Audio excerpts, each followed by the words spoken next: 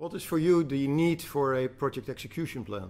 I think it's very important to define uh, a goal with all your uh, team members to define your scope, what's in or outside the scope, and uh, in the end, uh, to have a whole traject or a guideline where to go to. What makes it difficult to write such a plan, to develop such a plan?